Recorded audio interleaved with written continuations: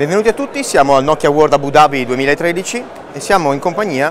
del prodotto che, che, non è stato anticipato nel corso dei giorni precedenti a questo evento. Parliamo di Lumia 1320, il nuovo phablet, è uno smartphone con display da 6 pollici, in particolare in quanto è posizionato in un segmento di mercato che tipicamente non vede i prodotti di questa diagonale. Nokia ha annunciato un prezzo di 339 dollari per il mercato nordamericano, il prodotto è al debutto nel mercato nordamericano nel corso delle prossime settimane, lo vedremo in commercio in Italia a partire presumibilmente dall'inizio del prossimo anno ad un prezzo che possiamo stimare essere a nostro avviso compreso tra i 319 e i 349 euro, tasse incluse. Cosa di particolare questo prodotto? Riprende le caratteristiche tecniche di Lumia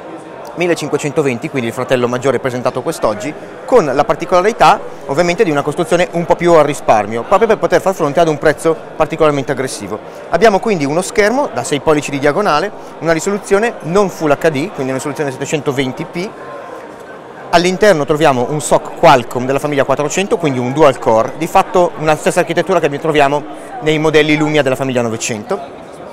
abbiamo una dotazione di memoria inferiore, pari a 8 GB e 1 GB di memoria di sistema. E il guscio esterno è particolare, un po' di carbonato, e ha questa struttura per cui possiamo facilmente aprire e volendo anche sostituire il guscio, anche se al momento Nokia non ha annunciato delle parti di ricambio. Dobbiamo fare questa operazione anche per accedere allo slot della,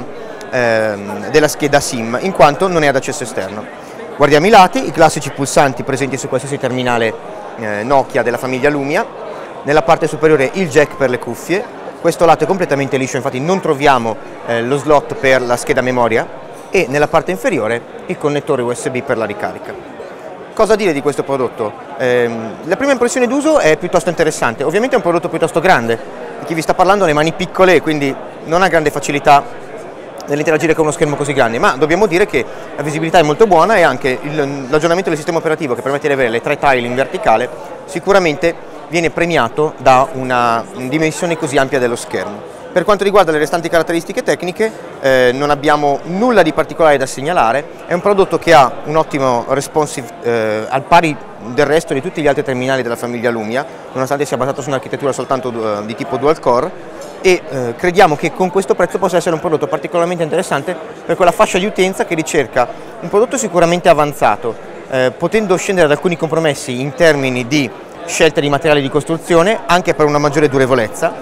e eh, vuole un prezzo di acquisto particolarmente aggressivo. Da ultimo ricordiamo la fotocamera che non è Zeiss eh, come invece presente in altri terminali della famiglia Lumia, ha eh, una capacità di 5 megapixel, è presente un flash soltanto e quindi è una soluzione di compromesso sempre per far fronte ad un prezzo che, ripetiamo, eh, consideriamo essere particolarmente aggressivo. Il resto della dotazione è la stessa che ritroviamo negli altri terminali, quindi anche in questo caso, a dispetto della fotocamera solo 5 megapixel, troviamo Nokia Camera con eh, i vari controlli avanzati, pardon mi è scappata una foto, i vari controlli avanzati al pari di quelli che abbiamo imparato a conoscere eh, inizialmente con Lumia 1020. Bene, tutto da Paolo Corsini per Hardware Upgrade qui dal Nokia, eh, Nokia World di Abu Dhabi.